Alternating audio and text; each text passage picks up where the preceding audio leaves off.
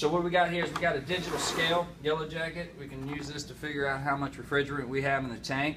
All right, and we have to actually weigh in the refrigerant when we're recovering, especially systems with large amounts of refrigerant, because we do not want to exceed 80% of the tank capacity. How do I know what the tank capacity is? Well, there's some numbers stamped here on the side. All right, one of them is the tare weight, that's the weight of the tank, and the weight capacity, the water capacity, is if we filled it up with water, it could handle 47.7 pounds of that. Now, we're not going to use water, we're going to use refrigerant, so there'll be some vapor and some liquid mixed in with it. Uh, and we just nominally, that's a nominal size, we just round up to 50. So this is a 50 pound tank, and safely we don't want to fill it more than 80%, which is 40 pounds. So that's 40 pounds is the max amount of refrigerant weight plus the tank weight, which is 28 pounds.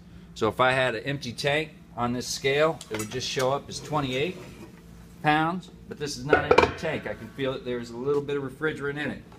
So if the tank weight is 28 pounds, and the actual weight of the tank plus the material in it, the refrigerant in it, is 32 pounds, that means I have about 4 pounds of refrigerant in it. And then if you watch the other video, we can hook up the gauge to see if it is really R22 or not using the PT chart. So other things about the tank, they're yellow on the top and gray on the bottom. They are reusable. These are the ones that we use for recovery. And they have two colored handles that are not consistent with the manufacturers. This one is red for liquid, blue for vapor. And they could reverse those so that the red would be vapor and the blue would be liquid. All manufacturers don't make the same thing. And then there's also a stamp on the side for the testing of when it was manufactured.